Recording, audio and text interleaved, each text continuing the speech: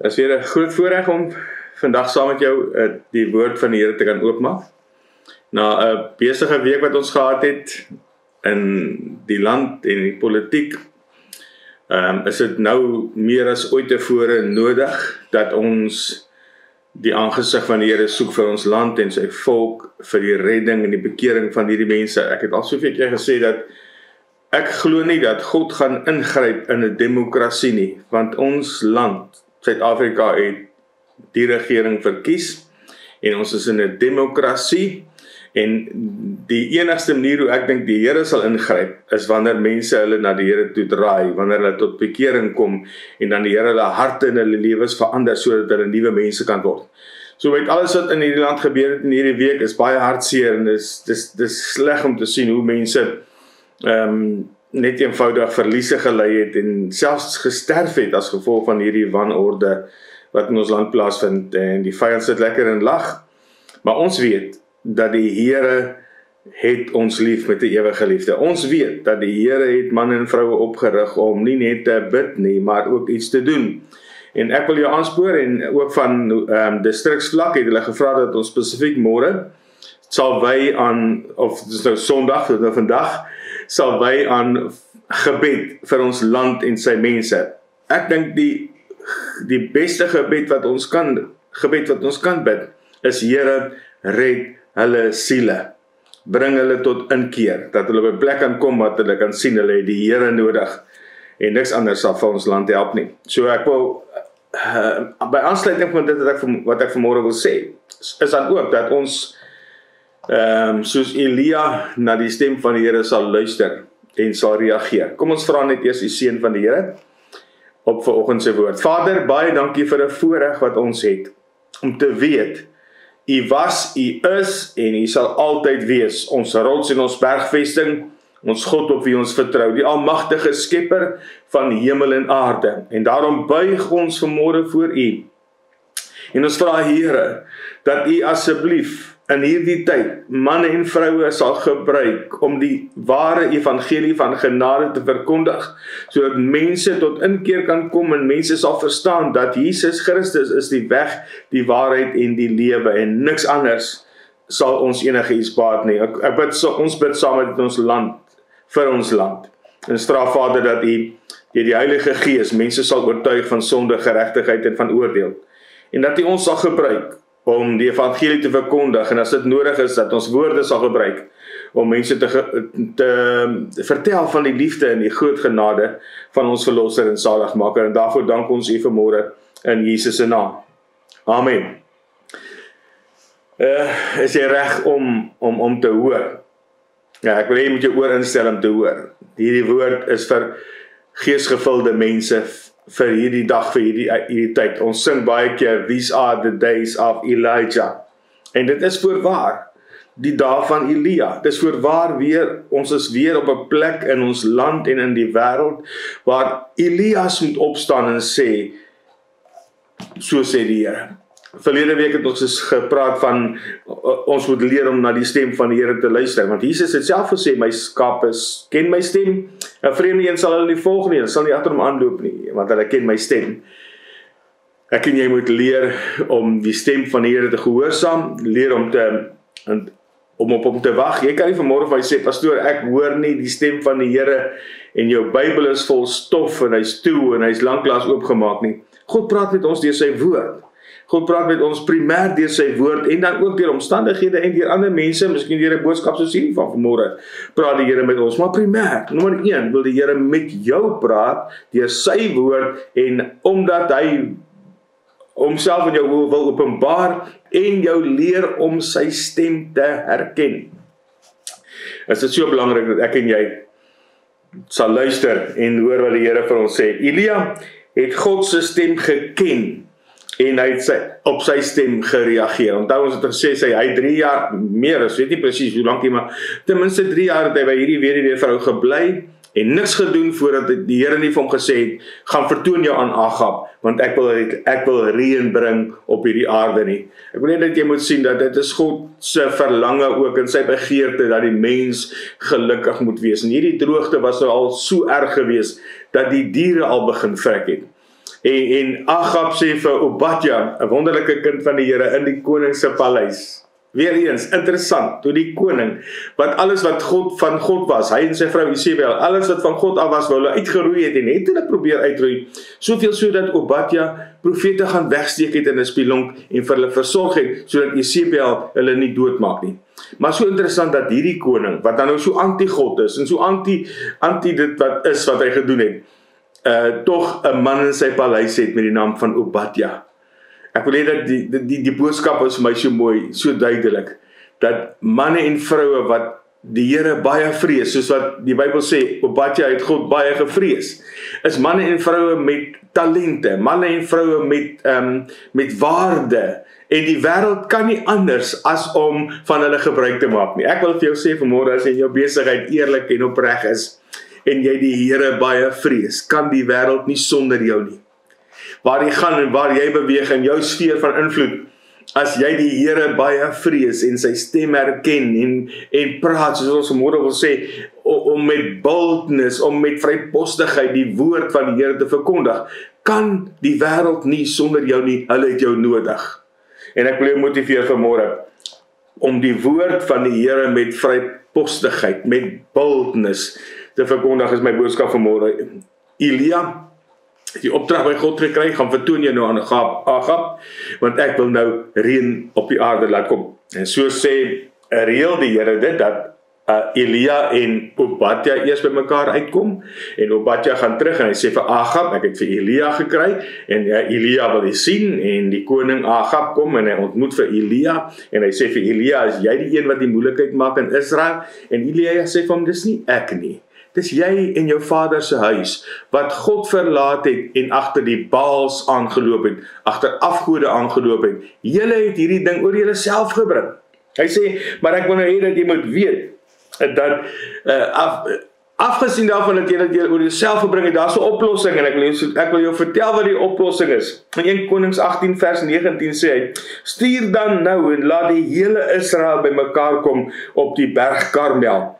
Ook die 450 profete van Baal en die 400 profete van Asherah wat aan die tafel van tafel van Jezebel eet. En Agab het gestuur onder al die kinders van Israel en die profete op die berg Karmel bymekaar laat kom. Is dit nie interessant nie? In die begin het niemand van van Elia geweet nie. Uh, ek meen niemand het geweet wie Elia was nie. Hy het net uit net in die openbaarheid net sommer verskyn.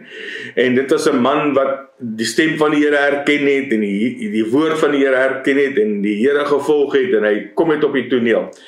En hy sê vir Agab, luister Agab, dis nou tyd. Ons moet nou ons moet gesels. Bring hierdie klomp Baal profete en hierdie klomp profete van Asera saam op Karmel. Wat interessant is, is dat hy het nie net geluister nie, maar hy het ook gehoorsaam gereageer. Nadat Elia so braaf was om die woord van God te spreek. Al het daar nog niks besonders gebeur nie, het dit hom bevestig soos sy woord waar geword het. Hoor nou mooi, die woord van God in jou mond gaan jou bevestig want die woord van God kan nie ledig terugkeer nie. Die ware woord van God sal altyd uitkom en altyd waar kom. As jy gelank genoeg gaan aanhou om die woord van om op die woord van God te reageer, sal jy ervaar dat die woord van God jou elke keer in 'n posisie van autoriteit en gesag plaas. Want die woord kan jou nooit faal nie. Dit wil sê as jy werklik die woord van God verkondig, en nie jou eie uh, opinie of jou eie dogma nie, maar dit wat die woord van die Here vir jou sê. Kort voor lank sal die woord van God jou altyd verhoog. Ek wil hê jy luister nou mooi. Die Here verhoog nie 'n mens of 'n prediker nie. Hy verhoog altyd sy woord. Maar wanneer jy die woord van God praat en jy die spreekbuis word uit die aard van die saak omdat jy die spreekbuis word van God en van sy woord sal die Here jou verhoog. OK, ehm um, ek is baie lief daarvoor om die term te gebruik. Ehm uh, ek is net die pyp waardeur die water loop. Jy kan sonder 'n pyp, maar jy kan nie sonder water nie. Ons is net die pype, maar wanneer die water deur die pyp loop, dan word die pyp ook nat. En dit moet jy besef, soos wat jy die woord van die Here verkondig en getrou die woord van die Here, nie jou nie jou opinie of iemand anders se opinie verkondig nie, sal die woord van die Here jou bevestig en jou verhoog. Ons het baie keer soveel klem op geleerdheid en op karisma. Maar as ons na die geskiedenis van die Bybel gaan kyk, dan vind ons dat die Here het elke keer die meeste van die tyd gewone mense gebruik. Nie soseer mense wat vreeslik slim was nie. Die ja, Paulus was 'n baie slim man, maar Paulus het nooit op sy kennis staat gemaak.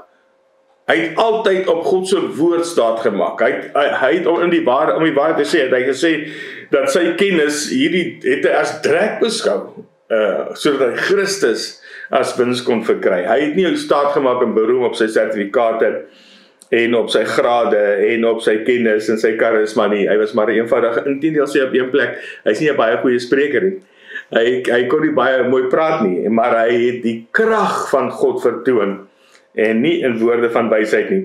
Al wat hulle werklik gehad het, hierdie manne van van van die vroeë tyd wat die Here so gebruik het, was die woord van die Here en 'n opregte geloof in die woord van die Here. Nou wil ek hê dat jy moet verstaan dat God se woord is oral en dis verkrygbaar, dis die hele wêreld vol, maar dit bevoordeel nie almal nie. En nou is die vraag hoekom? Dit is amper soos die hele wêreld is vol seep, maar almal is nie skoon nie. Net die mense wat die seep aanwend word skoon, net die mense wat God se woord glo en lambano en proklameer as die mense wat dan 'n impak op hierdie wêreld gaan hê. In Hebreërs 2 vers 4 vers 2 uh, praat die skrywer juis van mense uh, wat so so aangaan. Hy praat van die Jode wat die evangelie verwerp het en die evangelie het nie vir hulle gewerk nie. Ons weet dat die evangelie is 'n krag van God tot redding van elke een wat glo. Maar in Hebreërs um, 4 vers 1 en 2 gaan ek vir jou lees. Laat ons dan vrees dat terwyl die belofte om in sy rus in te gaan nog stand hou, dit nie miskien sal blyk dat iemand van julle agtergebly het nie. Met ander woorde, uh, daar's 'n kans dat jy kan agterbly, 'n kans dat jy hierdie rus, hierdie vrede, hierdie wat God vir ons uitgewerk het, kan jy verloor, kan jy agterbly wanneer jy die volgende doen. Vers 2 Want aan ons is die evangelie ook verkondig net soos aan hulle, maar die woord van die prediking het hulle nie gebaat nie, omdat die uh, omdat dit by die hoorders nie met die geloof verenig was nie. Dit is so belangrik dat jy sal verstaan dat hierdie swart ink op die wit letters het geen magiese krag nie. Dit het geen spesiale krag as dit net daar lê in jou boekrak lê of net een kant is of op blaadjies geskryf in jou yskas of al hierdie goeders as dit net 'n geskrewe stuk brief is, het dit nie krag nie. Die krag kom wanneer jy dit in geloof lambano jou eie maak. In geloof to take hold of it in faith and say lord i receive it. I make it my own. Ek maak dit my my ek meng my geloof met die woord en dit dit word effektief in my lewe. Die woord alleen kan daar lê. Ek weet van baie mense wat hulle Bybel oopmaak op Psalm 91 en op die, op in hulle slaap elke aand so met die oop Bybel op hulle op hulle bedkassie en en en vertrou die oop Bybel om om hulle beskerm te beskerm. Ek wil vir jou sê as jy nie daai Psalm 91 meng met die geloof sal daai daai oop Bybel nie vir jou baat nie. Dit gaan net vir jou baat wanneer jy glo dat dit wat daar geskrywe staan is vir jou en dit en jy maak dit jou eie en jy sê vir jouself geen onheil sal my tref en geen plaag sal naby my tent kom nie want die Here. En uh, jy maak dit jou eie jy meng dit met geloof en maak dit jou eie. Dan is dit dodelik. Dit is dinamiet krag dinamies dinamis krag van die Heilige Gees. Die oomblik wanneer jou geloof en die woord gemeng word is daar 'n ontploffing en die vyand sal op die hardloop gaan want hy weet dat jy weet Wanneer ons die woord spreek wat God in ons mond sit, sal dit vir ons autoriteit gee in die lewens van die mense met wie ons te doen kry. Ehm um, die woord van die Here is in die mond van Elia was beproef gewees. Dit het waar geword toe Elia vir die koning gesê daar gaan nou nie weer reën wees totdat ek toe sê nie. Het dit waar geword? En daarom het die moes die koning na hom luister. Die koning het nie is, het nie eh, 'n uh, keuse gehad nie want dit wat Elia gesê het, het krag gehad. Dit het hom bevestig as werklik ware spreekbuis vir God.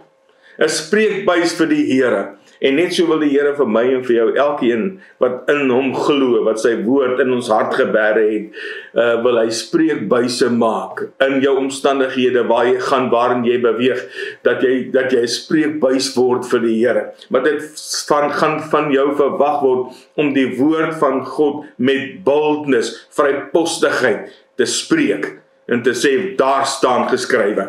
Ongelukkig het die vyand dit reg gekry om soveel verwarring en soveel twyfel te saai in God se woord. Omdat die woord van die Here ook al soveel keer vertaal is en gedruk is en anders gemaak is, is daar baie mense wat sê hy dra geen gesag nie uh en glad nie in die Bybel wil glo nie. Maar ek en jy wat die Heilige Gees in ons hart het, weet dat hierdie is God se uh geesgevulde woord en ons twyfel geen oomblik daarin dat dit die woord is nie. En daarom het sy woord krag in jou mond en in my mond wanneer ons spreek.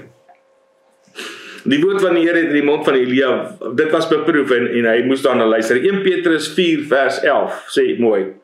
En luister wat hy sê: As iemand spreek, laat dit wees soos woorde van God. As iemand dien, laat dit wees soos uit die krag van wat God verleen, sodat God in alles verheerlik kan word deur Jesus Christus, aan wie die heerlikheid en die krag toekom tot in alle ewigheid. So ek wil hê dat jy moet verstaan dat wanneer ons dan nou optree in die naam van die Here en op grond van God se woord, dan is dit net sodat God in alles verheerlik kan word deur Jesus Christus. God moet die eer kry. God moet die verheerlik word deur wat ons sê, wat ons doen, waar ons gaan, wat ons beweeg. En wanneer ons in die naam van die Here spreek, sal die Here sy woord bevestig omdat ons geloof in sy woord het. Maar ons moet dit spreek. Ons moet dit spreek. As dit net daar net in ons hart is en net net in ons hart is en ons kop is en ons spreek dit nie en ons uh, implementeer dit nie, gaan dit ook nie dieselfde uitwerking hê nie. Elia die profeet sê vir die koning wat om te doen en die koning gehoorsaam saam hom en dis hoe dit behoort te wees. En ek meen vir baie jare was dit so gewees ek onthou toe ek 'n kind was was daar nie rugby wedstryd op 'n Sondag gereël nie. Want die kerk het gesê dit mag nie gebeur nie. En die en die mense die regering het daarna geluister en hulle het nie 'n rugby wedstryd toegelaat op 'n Sondag Sondag nie want ons het gesê Sondag is die dag van die Here en afgesonder om vir die Here om te aanbid en so en ons gaan sport hou op Sondag. Die baie winkels was gesluit op 'n Sondagoggend. Daar was nie winkels gewees nie want die kerk het gesê ons dan mag die winkels mag nie oop wees nie. Maar selfs op Maandag het die kerk sy gesag verloor. Het die selfs op Maandag het die kerk ap apologeties geword en verskoning gemaak vir wat ons glo. En selfs op Maandag het die het die stem van die kerk minder waardig geword en het nie meer daai gesag nie. Ons moet weer op daai plek kom waar ons die gesaghebende woord van God spreek. Want dit is net die woord wat ons met gesag spreek, met boldness spreek en wat ons glo wat 'n impak gaan hê in die lewens van manne en vroue. Ehm uh, dink maar net nou net aan hierdie week. Wat het ons nou al gesê oor die Luthers? Wat het ons nou al gesê oor die Zulus? Wat het ons nou al gesê oor die mense wat so gebreek en gesteel het? En as ek en jy mooi daaraan dink, dan is daai mense mense wat in duisternis is, wie se verstand deur die Satan verduister is. Hulle weet nie om reg te doen nie, hulle ken nie om reg te doen nie. Uh, want die evangelie van God se woord van waarheid het nog nie by hulle uitgekom nie. So hulle is nie duisternis en word die duiwel gebruik. Maar wat het ons al gesê van hulle in hierdie week? Ek wil nie hoor nie. ek wil ook nie weet nie. Het ek op Facebook baie goed gesien wat gesê was. Maar ons woorde het krag en ons moet begin spreek wat God se woord sê. Ons moet begin spreek oor Suid-Afrika lewe. Ons moet begin spreek oor hierdie mense dat die dat Satan sy greep oor hulle verstand sal verloor. Dat Satan sal nie meer 'n hou vas op hulle sal hê en so sal misbruik om om soveel skade en verskriklike hartseer te veroorsaak nie. Ons hoef nie mense te veroordeel nie. Dit daar's baie goed wat wat in wat aangaan in ons lewe waarmee ek glad nie saamstem nie as goed wat ek ehm um, wel wat ek graag wil sê wat ek ook nie mag sê nie. Uh omdat uh, ek kan aangekla word vir haatspraak en al sulke goed. Maar ek wil hê dat jy mooi verstaan, ons hoef nie mense te veroordeel om hulle reg te help nie. Ons kan hulle in liefde reg help en sê so sê die Here. Dit is God se beste vir jou. Soos wat jy nou lewe is nie die beste nie. Dit en dit is nie veroordelend nie. Dis net God het 'n beter plan met jou lewe. God het vir jou meer instoor. God het vir jou beter dinge in lewe in die lewe. Maar ons ons moet weer met gesag begin om God se woord te spreek. As gelowiges, as gelowiges moet ek en jy as predikers, as leiers moet ons mense weer op 'n plek kry waar hulle 'n besluit neem. Uh where they make an commitment wanneer hulle wat hulle weer net op daai plek kom waar hulle kan sê wel as dit die geval is wil ek dan met my hele lewe die Here aanbid. 1 Konings 18 vers 21 sê en Elia het nader gekom na die hele volk toe en vir hulle gesê hoe lank hink julle op twee gedagtes as die Here God is volg hom na en as Baal dit is, volg hom na. Maar die volk het hom niks geantwoord nie. Jy sien ons moet 'n keuse maak. Ons mense op 'n plek bring waar hulle kan sê ek kies die Here.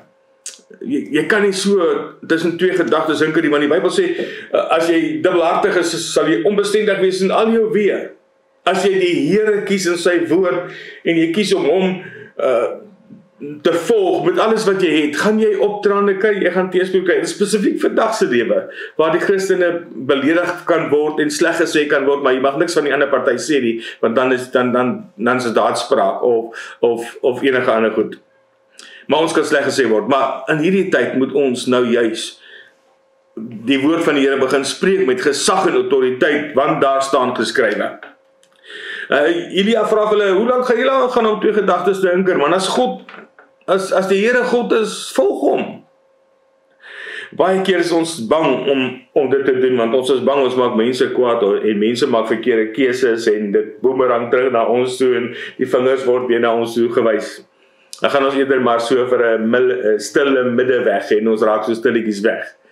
Dis nie reg nie. Die Here wil hê ons moet nou in hierdie tyd, dis die dae van Elia, dis hierdie tyd wat ons weer vir die mense moet sê, daar is 'n God in die hemel wat van jou verwag om hom te dien. Daar is Jesus Christus wat aan die kruis van Golgotha gesterf het, sy alles gegee het sodat ek en jy vir hom met oorgawe kan lewe. Nou wil ek iets uitwys in Elia se lewe, want as ons aan Elia dink, dan dink ons aan hierdie super profeet. Die hy was heilig, hy was so hy was hierdie profeet gewees, maar ek wil vir jou wys dat hy ook 'n swak plek in sy lewe gehad het ten spyte van sy swak plek wat hy gehad het, het God hom nog in elk geval gebruik. In 1 Konings 18 vers 22 sê Elia vir die volk Dis nou waar hierdie klomp mense bymekaar is. Die volk is aan die een kant en die Baalpriesters is aan die ander kant. En Elia sê vir hierdie volk wat hierso staan: "Ek het alleen oorgebly as profeet van die Here." Terwyl die profete van Baal 450 is en dan was daar nog die 400 ander profete ook. Maar ek wil hê dat jy moet sien hierso dat net 'n rukkie terug het Obadja vir hom gesê en Obadja was ook 'n man wat God gevrees het.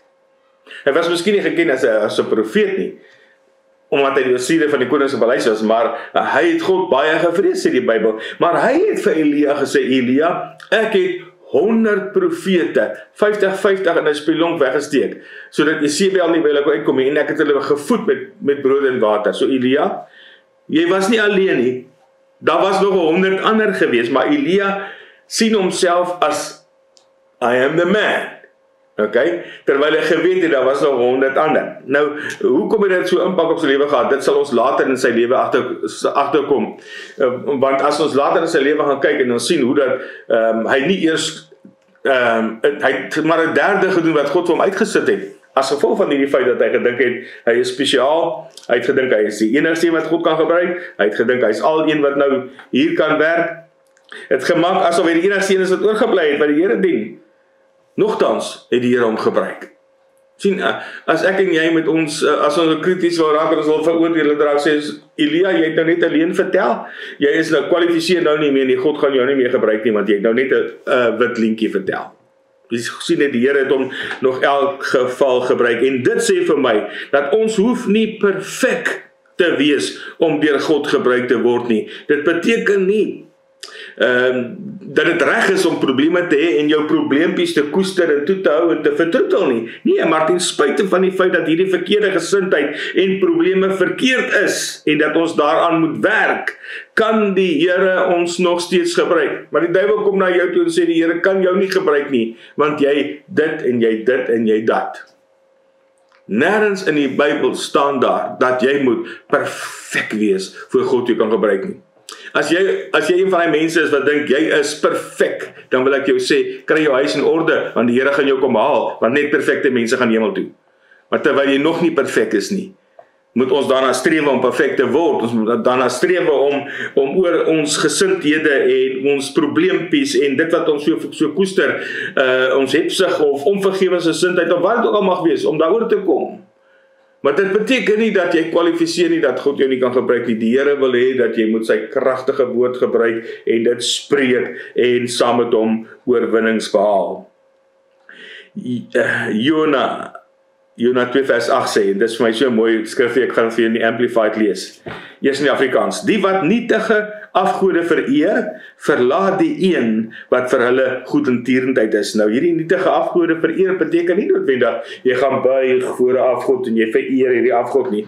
Dit kan mammon in jou lewe wees. Dit kan geld wees, dit kan jou mooi kar wees, jou mooi huis wees. Dit kan jou die feit dat jy dink jy is 'n bietjie bo die ander.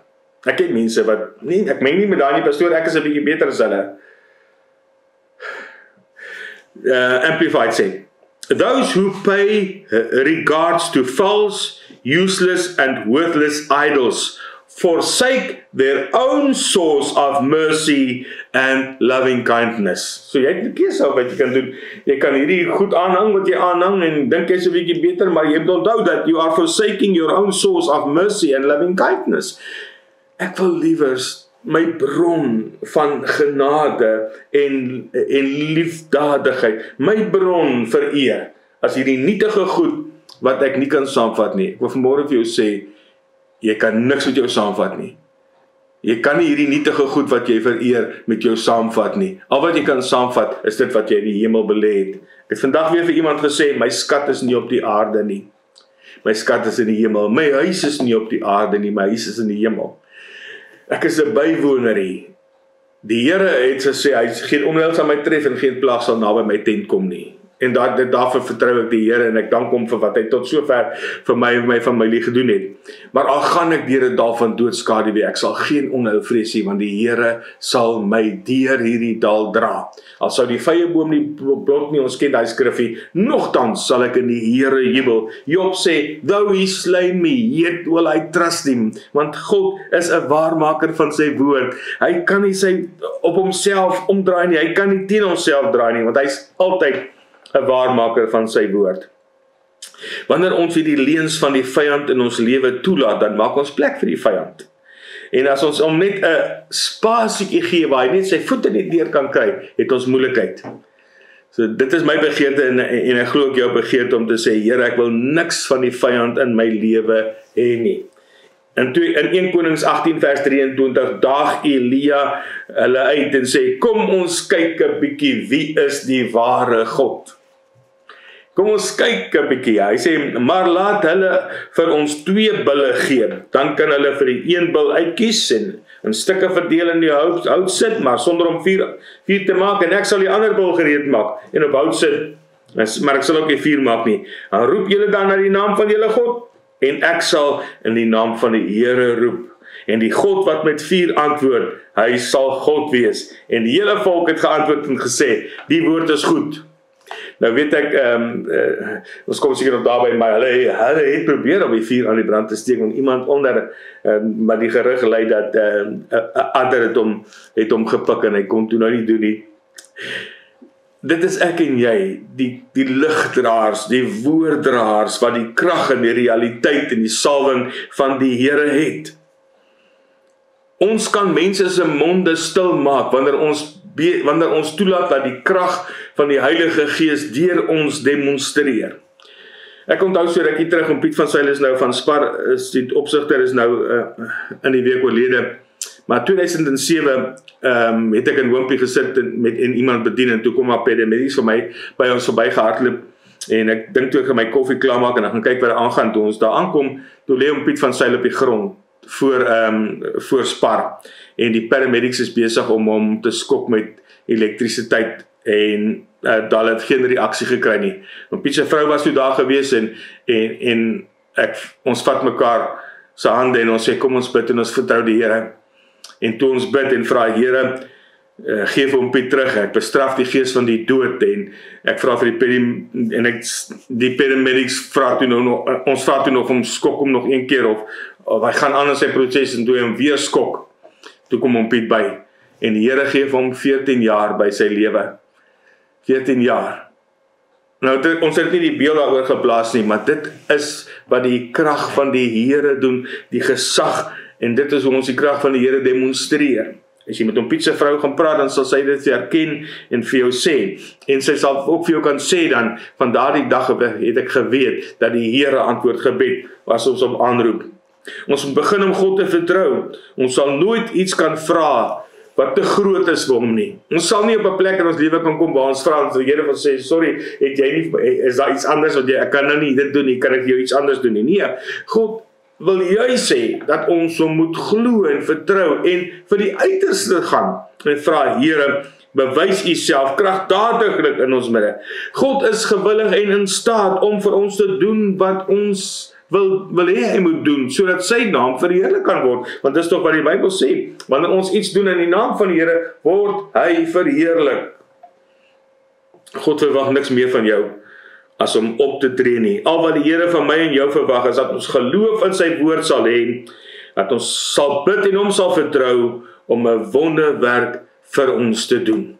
Ek weet nie of jy 'n wonderwerk nodig het nie. Ek het 'n wonderwerk nodig. Ons gemeente het 'n wonderwerk nodig. Ons dorp het 'n wonderwerk nodig. Die Here wil jou en my gebruik om daai wonderwerk tot stand te bring. Maar ek en jy begin om op sy woord te reageer nie net as sy stem te luister soos ons verlede week gehoor nie, maar op sy woord te reageer en te sê Here my God, ons vertrou U vir 'n deurbraak in ons dorp, in ons land en in die wêreld. Ons weet dat die koms van die Here is voor die deur. Ek en jy moet onsself gereed maak want Jesus kom. En ek gaan saam met jou bid en ek gaan die Here vra om vir jou vrypostigheid te gee om nie net sy woord te lees nie, maar ook sy woord te proklameer, sy woord te spreek en op sy woord te staan en hom te vertrou vir wonderwerke. Vader, baie dankie dat u woord ja en amen is. U woord is vir ons 'n lig op ons pad en 'n lamp vir ons voet. U woord is voedsel vir ons, Here. U woord is wat ons liefhet en u u u verordeninge, Here, wil ons onderhou en daarom wil ons vanmôre bid vir ons land Suid-Afrika ons dorp gaans by ons distrik ons wil vra Here dat U weer manne en vroue sal oprig wat op die woord van die Here sal staan en die woord sal spreek. Ons spreek vanmôre lewe oor ons dorp en ons land. Ons spreek vanmôre ehm um, mense dat mense tot bekering sal kom dat die lig van die evangelie in die harte van manne en vroue sal skyn. Elkeen wat vanmôre my stem hoor Here vra ek dat U in daai harte lewe sal werk dat ons u woord nader sal trek. U woord begin lees, u woord begin proklameer, u woord begin demonstreer sodat u weer in en deur ons lewens verheerlik kan word. Is my gebed in Jesus se naam en ons sê vir baie dankie daarvoor. Amen. My gebed vir jou vir hierdie week is Shalom vrede.